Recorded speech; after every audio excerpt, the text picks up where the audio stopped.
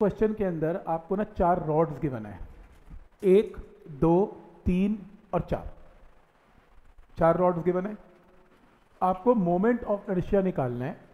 इन चारों रॉड्स का जब एक्सेस क्या है? पी क्यू जब एक्सेस पी क्यू तो आपको आई की वैल्यू निकालनी है चारों रॉड्स की। अब एक प्रॉब्लम है। प्रॉब्लम ये है कि जैसे ये रॉड है एक, ये रॉड है एक। और ये एक्सेस है जिसकी अबाउट आई निकालना है। देखो, ये रॉड बहुत दूर है इस एक्सेस से। कोई पैरल नहीं है, कोई कुछ नहीं है। अब मेरे को बहुत मुश्किल होगी, मैं डीएम ले लेके इंटीग्रेशन करूँ, मैं कर नहीं पाऊँगा। ऐसी इसकी सेम प्रॉब्लम है। तो मेरे पास इंटीग्रेशन भी सही तरीका नहीं है इसको सॉल्व करने का।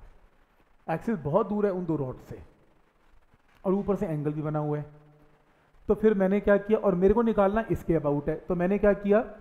मैंने सबसे पहले एक एक्सेस ले लिया कौन सा? आर एस मैं अपना आई आर एस के अबाउट निकाल लूँगा। अब आर एस की क्या खास बात है? चारों रॉड्स आर एस के साथ सिमिट्री में चेक कर लो। कैसे? ये एक रॉड है। इस रॉड ने एंगल कितना बनाया आर एस के साथ? 45 ये वही केस है जो अभी हमने किया था। तो इसका आई का कॉन्ट्रीब्यूशन हो जाएगा। सेम रूल इसके साथ है। इसने कितना एंगल बनाया? सेम रूल है। सेम रूल इसके साथ है। इसने कितना एंगल बनाया? तो ये भी इस पर कॉन्ट्रीब्यूट कर देगा और सेम इसके साथ है एंगल 45 कॉन्ट्रीब्यूशन सही है? तो ये एक्सेस के ऊपर अगर किसी भी रॉड का आई निकालना है तो फॉर्मूला आपके सामने है। वो रहा formula M L square by three into science forty five तो इस रॉड ने आर एस के ऊपर क्या कॉन्ट्रीब्यूट किया? M L square by three into forty five लेकिन ऐसे कितनी रॉड्स हैं? चार। तो इसको चार से क्या कर दिया? मल्टीप्लाई क्योंकि ये रॉड भी यहाँ कंट्रीब्यूट करेगी, ये भी करेगी, ये भी करेगी और ये भी करेगी। कोई डाउट इसमें? तो प्रॉब्लम ये है कि अभी आई किसके अबाउट निकले अबाउट आर एस पर मेरे को किसके अबाउट निकालना है? पी क्यू अब आर एस कहाँ से पास करता है? बॉडी के सेंटर ऑफ़ मास में से। तो थ्योरम ऑफ़ पैरल एक्सिस क्या कहती है कि नए एक्सिस का जो मोमेंट ऑफ़ नर्शिया होगा पी क्यू वो आर एस के अबाउट जो भी आई होगा, वो तो होगा ही होगा plus mass into distance square होगा।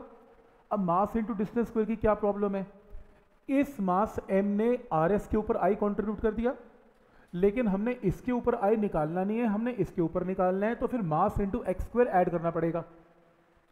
सेम इस मास की भी सेम स्टोरी है, इस मास ने इसके ऊपर कंट्रीब्यूट किया एम एक्स स्क्वायर इसमें भी ऐड करना पड़ेगा, इसमें भी और इसमें भी। इसलिए रिज़ल्ट को किससे मल्टीप्लाई किया? फोर्स से। इधर भी फोर्स से मल्टीप्लाई करना पड़ा। क्योंकि थ्योरम ऑफ़ पैरल चार रॉड्स के लिए लगी हैं, चार बार लगी हैं तो इसलिए चार से मल्टीप्लाई करना पड़ गया।